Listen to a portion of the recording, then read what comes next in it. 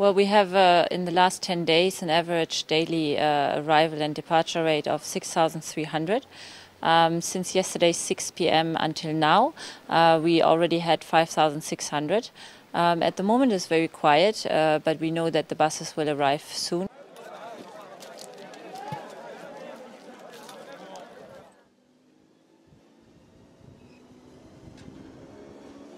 I had a family who lost their two children in the sea, and also I had uh, actually one uh, woman who lost their uh, her husband in the sea. So that was most challenging, but also very sad story by the refugees uh, when they are coming here and to get some help from us.